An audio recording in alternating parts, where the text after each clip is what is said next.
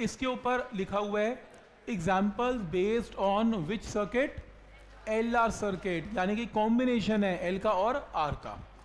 तो L R में सी तो लिया नहीं तो इम्पिडेंस का फॉर्मूला क्या यूज़ करेंगे? Under root of R square plus X L का स्क्वायर और टेन फाइव में एक्स एल बाय आर इसके अंदर एक इंपॉर्टेंट पॉइंट है, ये भी बता देता हूँ, काम आता है। क्या इंपॉर्टेंट पॉइंट है? जब हमने इम्पिडेंस ट्राइंगल बनाया था इम्पिडेंस ट्राइंगल में ये क्या था? X L minus X C ये क्या था? आर और ये क्या था? जेड ये था, हमने टेन फाइव लिखा था X L minus X C by R अगर इसके अंदर कॉस फाइव लिखें तो वो क्या आएगा? आर बाय जेड तो ये फॉर्मूला भी काम का फॉर्मूला है। कॉस फाइव की वैल्यू कभी कभी काम आ जाती है आर अपॉन जेड ठीक? तो इसके बेस पे क्वेश्चन नंबर 18 क्वेश्चन है when an inductor L and R in series series में कनेक्टेड अक्रॉस 12 वोल्ट जब कुछ मेंशन ना हो तो ई क्या है? E R M S frequency कितनी है? 50 current 0.5 five ampere flows in this circuit कौन सा? आर एम एस तो आर एम एस करंट है. क्या निकालना है? एंड फ़ेज़ डिफरेंस अब इसमें एक प्रॉब्लम है. एल आर सर्किट है ना? इसमें फाइव तो आएगा ही आएगा टेन फाइव तो फाइव की वैल्यू कितनी की बने पाई बाय थ्री क्या निकालना है? आर निकालना है. जब फाइव की बात होती है तो मेरे माइंड में सबसे पहला ये फॉर्मूला आता है टेन फाइव का। क्या? X L divided by R सबके माइंड में ये आता है टेन फाइव तो इसके अंदर आपको आर निकालना है।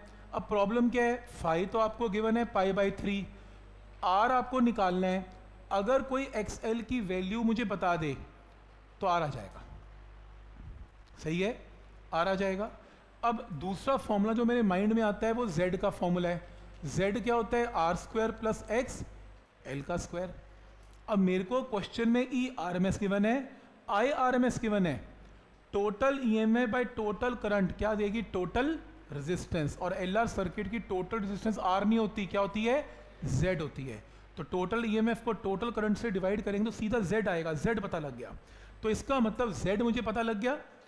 एक्स एल की एक्स आर मुझे निकालना है. अब एक्स एल की वैल्यू मैं यहाँ से आर की टर्म में निकाल सकता हूँ। आर की टर्म में एक्सएल आ जाएगा, उसको उठा के यहाँ पुट करके आर आ जाएगा। समझ में आ रहा है? तो यहाँ से स्क्वेयरिंग करके Z square is equal to R square plus X L square तो एक्स एल स्क्वायर क्या आएगा? जेड स्क्वायर माइनस तो यहाँ पर ये वैल्यू पुट कर देंगे कहीं किसी तरीके से? आंसर आएगा। ये लंबा तरीका है कैलकुलेशन बहुत ज़्यादा है। इससे बेटर तरीका ये बहुत सही है। कॉस फाइव क्या होता है? आर बाई जेड तो आर क्या है? Z into cos phi Z निकाल दिया फाइव पता है आंसर कर तो उससे भी सकते हैं लंबे तरीके से, पर कॉस फाइव का भी काम का फॉर्मूला है. यही बताने के लिए कर रहा था फ़र्स्ट मेथड लगाऊँगा नहीं फ़र्स्ट मेथड लगाऊँगा सेकेंड मेथड ही. पॉइंट क्लियर है? क्वेश्चन नंबर 19 की स्टेटमेंट को पढ़ना है एक बार.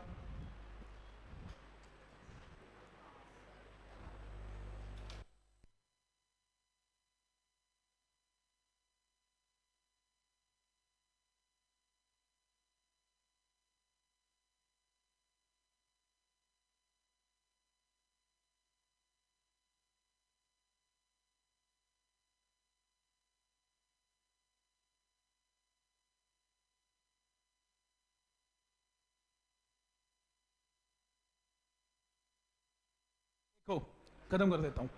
बल्ब ऑफ़ रेजिस्टेंस 10 ओम क्या गिवन है? आर गिवन है। Connected to inductor of L given है। Series with AC source marked 100 volt and 50 hertz तो 100 वोल्ट का मतलब क्या गिवन है इसमें? ई आर एम एस और फ्रीक्वेंसी गिवन है। फ़ेज़ एंगल फाइव भी गिवन है। एल निकालना है। कौन सा सर्किट है? एल आर टेन फाइव क्या होगा? एक्सएल बाय आर एक्सएल क्या है? टू पॉइंट टू फ्रीक्वेंसी क्या निकालना है इसमें? एल आर पता है फ्रीक्वेंसी पता है फाइव पता है, और कुछ चाहिए नहीं आंसर वैसे ही आ गया। फॉर्मूला बेस्ड क्वेश्चन ही हो गया तो बिल्कुल ही। ठीक है यहाँ तक? ठीक? क्वेश्चन नंबर ट्वेंटी में कॉयल की रेजिस्टेंस कितनी है? 300 ओम क्या गिवन है? आर इंडक्टेंस क्या गिवन है? L L R given L given frequency given क्या निकालना है? Phase difference phi L circuit में टेन फाइव क्या होता है? एक्सएल बाय आर एक्सएल क्या है? एल ओमेगा बाय आर तो यहाँ पर एल पता है आर पता है आंसर ठीक? तो आंसर सब सॉल्व करके वन आएगा तो फाइव क्या आएगा? फोर्टी फाइव डिग्री कैलकुलेशन बढ़िया, बात अलग है. पॉइंट समझ में आ रहा है यहाँ तक? जैसे question number twenty one important important mark करो. 21 क्यों? कि डीसी और एसी का कॉम्बिनेशन ध्यान से सुन लेना इस क्वेश्चन को. सबसे पहले case number one when coil connected across 10 volt DC अब पुराने चैप्टर में जाओ डीसी इलेक्ट्रिसिटी में डीसी करंट कितना है? दो एम्पियर एक कॉयल का मतलब इंडक्टर है। इंडक्टर में जब मैंने वोल्टेज की अप्लाई की डीसी 10 तो करंट दो. तो मैं वोल्टेज को करंट से डिवाइड करूँगा तो सीधा क्या आएगा? आर एक्सएल तो डीसी के लिए काम करता ही नहीं एक्सएल होगा ही नहीं. तो डीसी के केस में वी बाई आई क्या देगा आपको? आर देगा. फिर सेकंड केस में कह रहा है कि जब मैंने एसी पास किया एसी में क्या है? E R M S. और फ्रीक्वेंसी गिवन है तो एसी करंट ये क्या है? I R M S. तो अगर मैं ई आर एम एस को आई आर एम एस से डिवाइड करूँगा, क्योंकि ए सी है तो इंडक्टर में आर भी एक्टिव हो जाएगा और एक्सएल भी। तो सीधा क्या आएगा? कॉम्बिनेशन का जेड। तो जब डीसी करते हैं तो वोल्टेज और करंट की रेशियो आर देगी। जब एसी करते हैं तो वोल्टेज और करंट की रेशियो जेड देगी। डिफरेंस समझ में आ रहा है? अब आपको आर पता लग गया, जेड पता लग गया। इंडक्टेंस निकालनी है। इंडक्टेंस का मतलब एल निकालना है। अब आपको ये पता है फॉर्मूला कि जो जेड स्क्वायर होता है या जेड क्या होता है? Under root of R square plus X L का स्क्वायर तो यहाँ से सॉल्व करके आपको z पता है, r पता है, यहाँ से X L can be calculated और एक्सएल आ गया। एक्सएल क्या होता है? L टाइम्स ओमेगा ओमेगा क्या होता है? 2.2 फ्रीक्वेंसी सॉल्व करके क्या आ जाएगा? एल आ जाएगा. तो पॉइंट समझ में आ रहा है कि कैसे करना है इस क्वेश्चन को? जैसे ये क्वेश्चन है 80 वोल्ट 800 वॉट हीटर अभी तो डीसी वाली बातें कर रहा है, वो हीटिंग इफ़ेक्ट पावर गिवन है वोल्टेज गिवन है, सीधा यहाँ से क्या आ जाएगी? आर की वैल्यू आ जाएगी। वैसे करंट भी आ जाएगा। Power is V into I current आ गया दस एम्पियर पर ये तो डीसी की बात हो रही है। और नहीं, इसने एसी के ऊपर काम करवाया। इसने ये आपको वोल्टेज गिवन है और ये 800 वॉट गिवन है। एक्चुअल में जो इस क्वेश्चन के अंदर ना ये क्लियर मेंशन नहीं कर पाया। मेरे हिसाब से ये क्वेश्चन ऐसा है आधा क्वेश्चन ये हीटिंग इफ़ेक्ट का है, आधा एसी का है। जैसे, उसने कहा कि आप हीटर लेके आते हो, जो कहा गया 80 वोल्ट पे चलेगा और 800 वॉट की पावर देगा।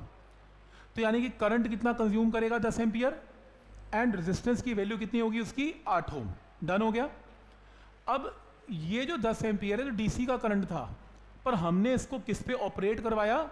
एसी और एसी की वोल्टेज कितनी थी? 100 volt E R M S given है।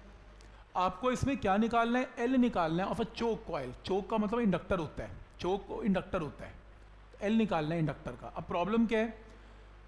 कंपनी ने लिखा हुआ था कि इतनी पावर पे काम करेगा तो करंट इतना चाहिए होगा 10 एम्पियर डीसी हम किस पे ऑपरेट करवा रहे हैं? एसी तो लास्ट टाइम डिस्कशन हुई थी, अगर डीसी का इक्वलेंट एसी में ढूंढना हो, उसको क्या बोलते हैं? आई आरएमएस तो आपको ये ट्रीट करना पड़ेगा. तो आई आरएमएस इसको क्या देना पड़ेगा? 10 एम्पियर तो यहाँ पर इसका मतलब जब आप इसे ऑन करोगे तो आई आर एम एस क्या लेना पड़ेगा? दस ampere. Point number one clear है यहाँ तक? अब आपको क्या निकालना है? इंडक्टेंस अब आपको ये पता है कि आई आर एम एस क्या होता है? V R M S by Z अब आई आर एम एस आपको पता है? वी आर एम एस भी आपको पता है।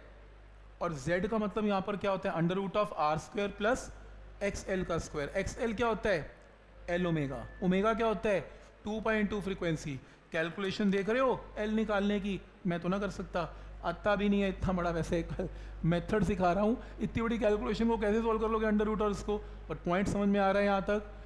कॉन्सेप्ट समझ में आ रहा है। अगर ईजी टाइप क्वेश्चन आए तो कैसे करने हैं? ठीक है यहाँ तक। जैसे इसके अंदर वी अफेक्टिव ये होमवर्क है आपका। ये होमवर्क है आपका। आपने अभी क्या करना है? पहले चार क्वेश्चन करने हैं इसके। ट्राई करो प्लीज़